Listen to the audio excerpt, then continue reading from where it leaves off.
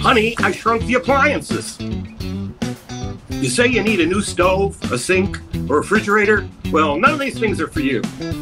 Would you believe each of these tiny wonders are salt and pepper shakers? Yes, from toast to coffee pot to batter blenders, each dispenses to your taste. Circa 1950s 60s, no sodium restrictions here, and a collection not worth sneezing at.